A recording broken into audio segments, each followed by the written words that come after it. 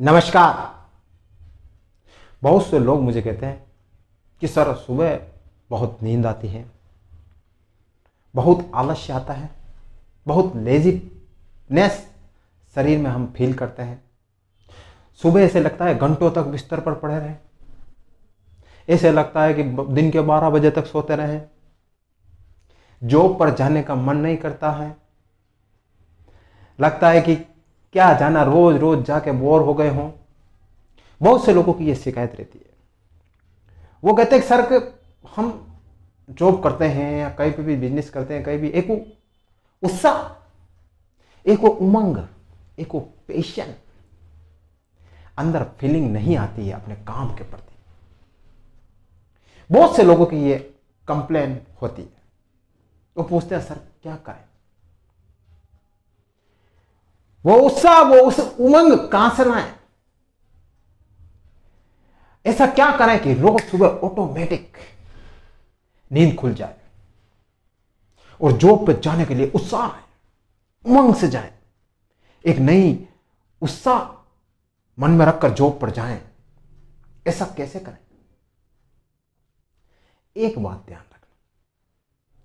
सबसे बड़ी बात जिस व्यक्ति के पास में कोई लक्ष्य नहीं होता है ना, उस व्यक्ति को बहुत नींद आती है, उस व्यक्ति को बहुत आलस्य आता है, उस व्यक्ति को जॉब पर जाने का मन नहीं करता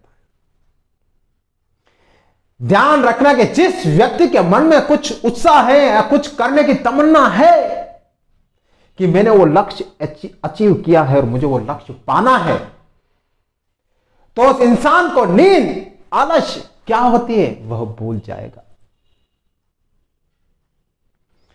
आप कहते हो, बहुत से लोग कहते हैं, सर, हम क्या लक्ष्य करें? बहुत से लोगों को गवर्नमेंट जॉब होती है।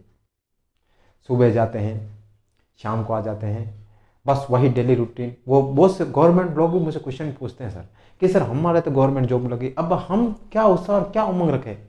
बस रोज जॉब पे जाना, रोज आना, वही आलस्य, बड़ी ज़िंदगी वही जाना।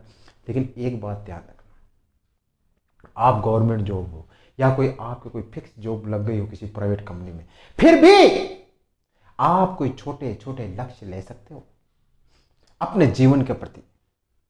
आप कोई छोटे छोटे लक्ष्य लोगे ना, कोई एम लोगे ना, तभी आपके अंदर उत्साह आएगा, उमंग आएगा अपने जॉब पर जाने का।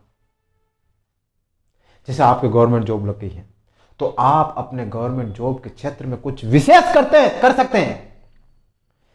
दस लोग आपका सेम काम कर सक, कर रहे हैं। लेकिन आपको अगर कुछ विशेष करना है, कुछ मन में उमंग रखनी, कुछ उत्साह रखनी, उन उन दस लोगों से आप वो काम अलग करके दिखाइए। आपकी फेम होगी, सब लोग आपकी प्रशंसा करेंगे, आपको सम्मान मिलेगा।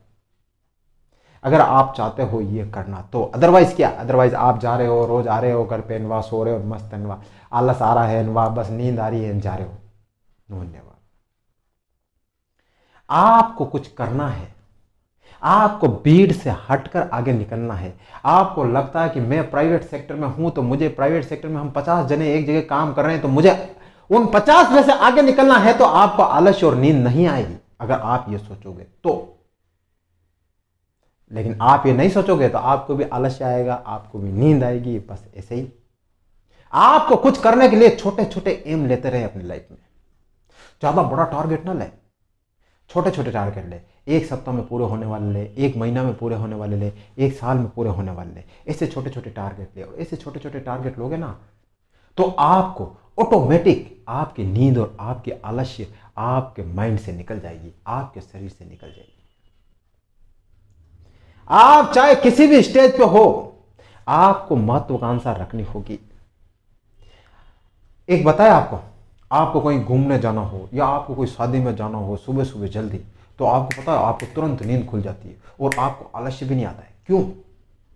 क्यों? क्योंकि आपको कुछ समथिंग डिफरेंट करना हो, आपको उस जगह पर पहुँचना हो, आपको वह कार्य पूरा करना होता है, इसीलिए आपको नींद और आलस्य तुरंत पक जाती तो आप भी अपने क्षेत्र में, अपने फ़ील्ड में ऐसा कोई कार्य लें, ऐसा कोई उत्साह वाला काम ले। कि आपको तुरंत सुबह उठते ही आपके आलस्य और आपका नींद तुरंत पक जाएगा और आपको लोग, अरे यार नहीं यार मुझे वो काम करना है। अरे यार, मुझे वो जाना है यार वहाँ पे। तो आप कुछ ऐसा करता रहे, करते रहे अपनी लाइफ अगर कुछ एम कुछ लक्ष्य अगर आपकी लाइफ में होगा ना, कुछ अचीव करने का तो दावा है मेरा आपसे। आपकी नींद क्या होती है, आपकी आलस्य क्या होती है, आप सब भूल जाओ। लेकिन अगर आपके जीवन में कोई लक्ष्य नहीं है, कोई एम नहीं है तो आपको नींद भी बहुत आएगी, आपको आलस्य भी बहुत आएगा और आपको कुछ काम करने की भी इच्छा नहीं होगी। इसलिए सबसे पहले अपने जीवन में एम बनाइए कि आपको क्या करना है।